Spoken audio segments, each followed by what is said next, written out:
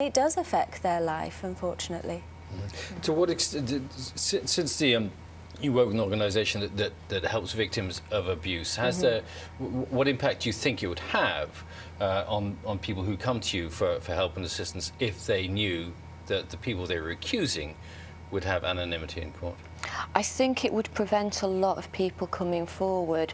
And as I say, every day at NAPAC we are hearing from survivors that once that name is, is given, people feel able to come forward. Do you think that there is a possibility that if the defendant had anonymity, that actually more victims might come forward in that case because they might feel that the accusations that they're making, which are incredibly sensitive and painful mm. for everybody involved, actually there might be less publicity around a case, that actually it might work for victims. In some ways, yes, but victims have that anonymity anyway. Their identity is always going to be protected. With survivors, there's so much guilt and shame felt by them. They, they feel that they are to blame for what has, what has happened, the abuse that's been per perpetrated against them.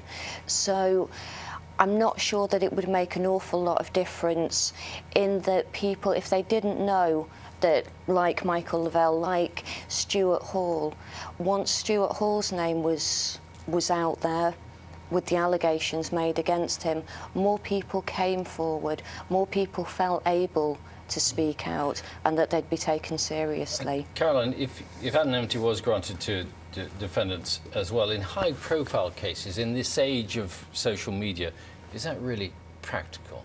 Well, it, it, it's not really going to work at the end of the day because, as I said, the, the courts are public buildings. The information is going to get out uh, anyway. Uh, with all the uh, social media, people are going to find out anyway. So, as I said, it is a very difficult thing to, in practice to, to do. What my concern is also is in relation to, especially the Michael Le Vell case, everything has been in the public domain, including what has been alleged against the alleged victim in relation to this matter. And I would have thought that uh, alleged victims would have concerns about the allegations that they've made being put in the press, uh, especially um, things of this nature. Mm. You wouldn't necessarily want it to be known what mm. has happened to you. Even though obviously they are uh, anonymous, it's still not a very pleasant thing to read in the papers for them. Indeed.